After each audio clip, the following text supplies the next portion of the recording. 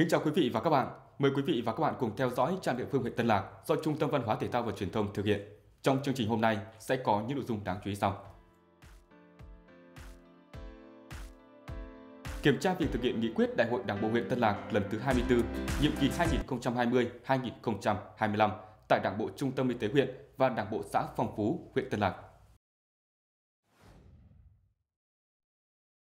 Hội nghị tổng kết 20 năm tổ chức Ngày hội Đại đoàn kết toàn dân tộc giai đoạn 2003-2023. Trao tặng bàn ghế cho học sinh hai trường tiểu học và trung học cơ sở Phú Vinh và trường tiểu học và trung học cơ sở Trung Hòa. Tân Lạc tạo đòn bẩy thúc đẩy phát triển sản phẩm của các tổ chức kinh tế tập thể.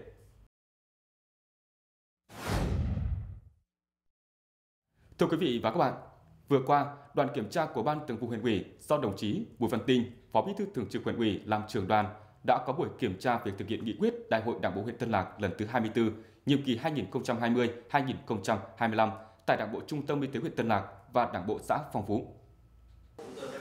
Đảng bộ Trung tâm Y tế huyện Tân Lạc hiện có 4 chi bộ với 63 đảng viên, trong đó có 38 đồng chí là đảng viên nữ, chiếm tỷ lệ 60,3%. Trong nửa nhiệm kỳ qua, Đảng bộ Trung tâm Y tế huyện đã tập trung lãnh đạo, chỉ đạo thực hiện tốt công tác xây dựng Đảng, hệ thống chính trị trong sạch, vững mạnh, quan tâm thực hiện tốt công tác phát triển đảng viên mới. 100% đảng viên trong Đảng bộ nhận thức rõ vai trò trách nhiệm, có lập trường tư tưởng vững vàng, nâng cao chất lượng khám chữa bệnh và phục vụ nhân dân, công tác khám chữa bệnh bảo hiểm y tế được đảm bảo. Nửa nhiệm kỳ qua, Đảng bộ chính quyền và nhân dân các dân tộc xã Phong Phú đã phát huy tinh thần đoàn kết, nỗ lực vượt qua khó khăn, lãnh đạo thực hiện toàn diện các nhiệm vụ trên các lĩnh vực. Đến thời điểm này, Đảng bộ xã cơ bản hoàn thành các chỉ tiêu nghị quyết Đại hội Đảng bộ xã và huyện đề ra theo lộ trình kế hoạch. Nhiều chỉ tiêu đã đạt và vượt so với nghị quyết Đại hội Đảng bộ huyện Tân Lạc khóa 24, nhiệm kỳ 2020-2025. Nổi bật là chỉ tiêu thu nhập bình quân đầu người đạt 68 triệu đồng trên người trên năm, đạt 136%, tỷ lệ che phủ rừng 51%, đạt 100%, tỷ lệ thu gom rác thải là 90%, đạt 180%. Đảng bộ xã đã thành lập mới được hai chi bộ, gồm chi bộ công an và chi bộ doanh nghiệp ngoài nhà nước. Đảng bộ xã hiện có 523 đảng viên, sinh hoạt ở 22 chi bộ. Hoạt động chính quyền, mặt trận tổ quốc và các đoàn thể có nhiều đổi mới theo hướng thiết thực, hiệu quả. Về thực hiện các đột phá đẩy mạnh phát triển kinh tế xã hội, đạt được nhiều kết quả khả quan.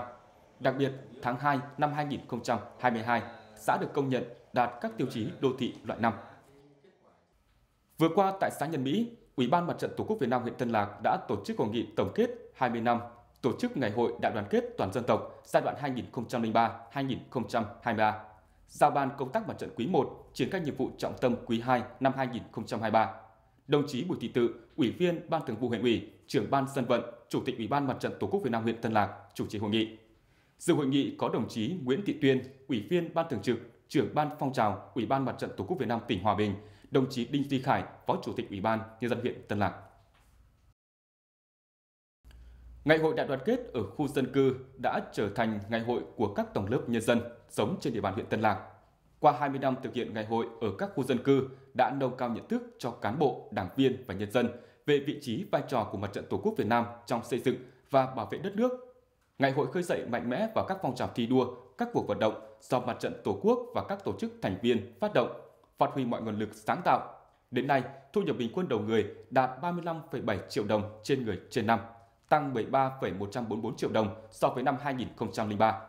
Tỷ lệ hộ nghèo giảm còn 12,53%, tỷ lệ hộ gia đình đạt tiêu chuẩn văn hóa đạt 87,29%, tăng 16% so với năm 2003. Số trường học, trạm y tế đạt chuẩn quốc gia đều tăng Hệ thống kết cấu hạ tầng nông thôn được đầu tư, bộ mặt nông thôn có nhiều đổi mới, nhân dân trong toàn huyện đã hiến hàng chục nghìn mét vuông đất, hàng trăm ngày công, góp phần hoàn thành các tiêu chí xây dựng nông thôn mới. Phát biểu chỉ đạo hội nghị, các đồng chí lãnh đạo tỉnh và huyện đã đánh giá cao những kết quả của Ủy ban Mặt trận Tổ quốc Việt Nam huyện Tân Lạc đã đạt được trong 20 năm qua. Các đồng chí cũng đề nghị trong thời gian tới, các cấp ủy Đảng, chính quyền, Mặt trận Tổ quốc các đoàn thể các cấp cần tiếp tục phát huy truyền thống, giữ vững khối đại đoàn kết toàn dân tộc trong cán bộ và nhân dân trong từng xóm, từng khu dân cư. Bên cạnh đó, tiếp tục giúp đỡ hộ cận nghèo, hộ có hoàn cảnh khó khăn từng bước đi lên thoát nghèo, biểu dương và nhân rộng các mô hình gương người tốt, việc tốt tạo sự lan tỏa trong cộng đồng và xã hội. Nhân dịp này, Ủy ban Nhân dân huyện Tân Lạc đã khen thưởng cho các tập thể và cá nhân đã có thành tích xuất sắc trong 20 năm Ngày hội Đại đoàn kết toàn dân tộc giai đoạn 2003-2023 trên địa bàn huyện Tân Lạc. Ngày 8 tháng 4 năm 2023, Ngân hàng Thương mại Cổ phần Đầu tư và Phát triển Việt Nam BIDV chi nhánh Quảng Ninh đã tổ chức chương trình trao tặng bộ bàn ghế cho học sinh hai trường tiểu học và trung học cơ sở Phú Vinh, xã Phú Vinh và trường tiểu học và trung học cơ sở Trung Hòa, xã Suối Hoa. Tới sự có ông Lê Chí Huyên, Ủy viên Ban Thường vụ huyện ủy, Phó Chủ tịch Ủy ban Nhân dân huyện, ông Trương Văn Sơn, Giám đốc chi nhánh Ngân hàng BIDV Quảng Ninh, lãnh đạo Đảng ủy, Ủy ban Nhân dân của hai xã Suối Hoa và Phú Vinh. Tại chương trình, Ngân hàng Thương mại Cổ phần Đầu tư và Phát triển Việt Nam chi nhánh Quảng Ninh đã trao tặng 100 bộ bàn ghế cho hai trường tiểu học và trung học cơ sở Phú Vinh, trường tiểu học và trung học cơ sở Trung Hòa, mỗi trường 50 bộ với tổng giá trị trên 93 triệu đồng. Đây là số tiền được trích từ quỹ phúc lợi và đóng góp của cán bộ, nhân viên trong đơn vị, giúp đỡ xã vùng khó khăn, đảm bảo điều kiện cơ sở vật chất, trang thiết bị phục vụ học tập.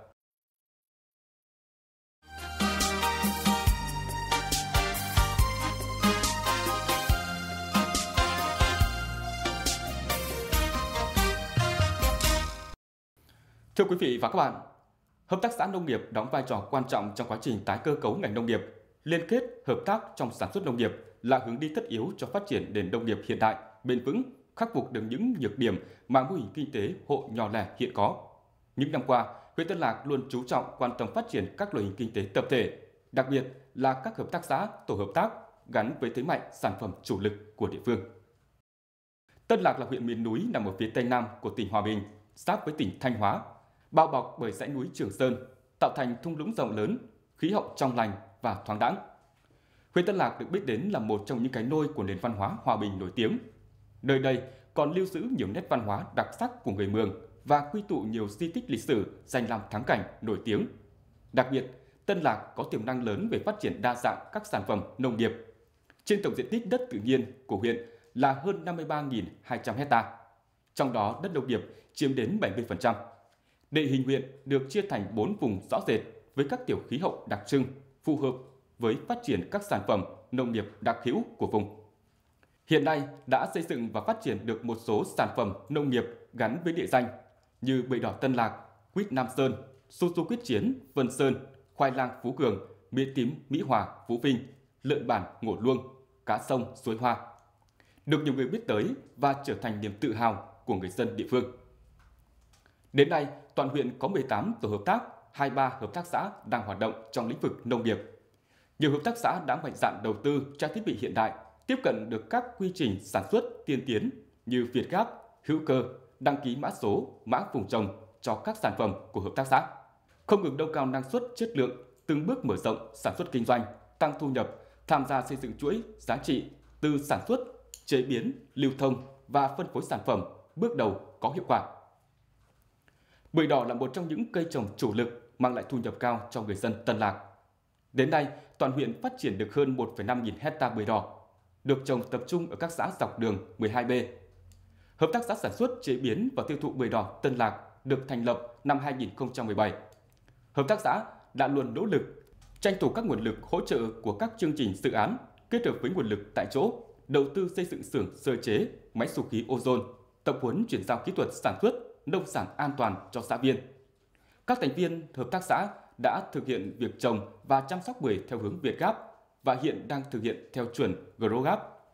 Sản phẩm của hợp tác xã đều có tem mác, khách hàng có thể truy xuất nguồn gốc rõ ràng nên chất lượng sản phẩm đã được khẳng định.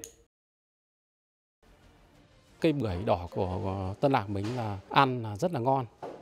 À, nó có cái vị ngọt rất là đặc trưng. Còn cái bưởi chúng tôi làm theo cái tiêu chuẩn Việt Gáp là để hướng tới cho khách hàng những cái sản phẩm xanh sạch và đảm bảo chất lượng nhất. Vinmark ấy là họ cũng nhập bưởi của chúng tôi cũng như là cốp mắc rồi là hoa quả sạch hòa bình rồi là Dolavi là một số doanh nghiệp là họ cũng nhập cái bưởi đỏ của chúng tôi để về họ cung cấp ở các thành phố rồi những cái các cái tỉnh đông.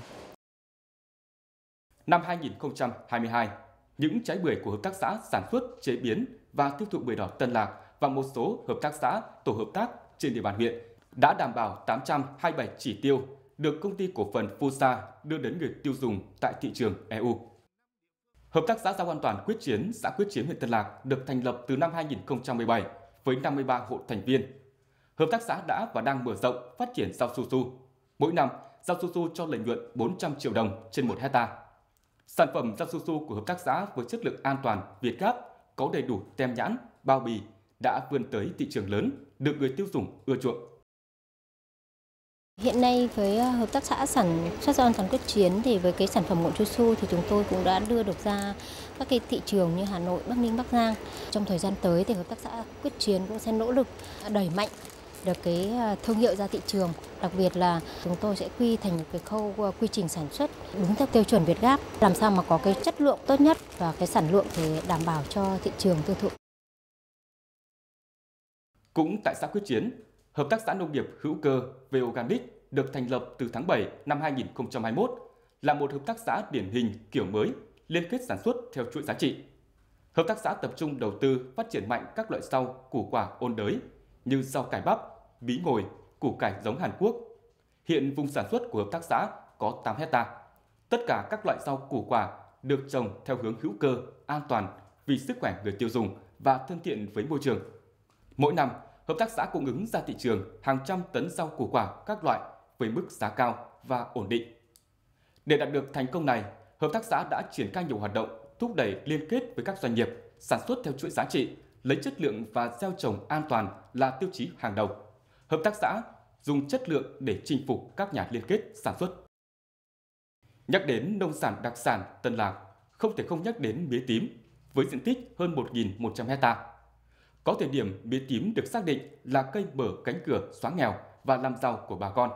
Nhằm cải tạo, nâng cao năng suất, chất lượng cây mía tím, hiện Hợp tác xã Nông Lâm nghiệp Tùng Dương, xã Mỹ Hòa đang liên kết với các hộ dân phát triển trồng tập trung mía tím và mía ăn tươi bằng giống nuôi cấy mô.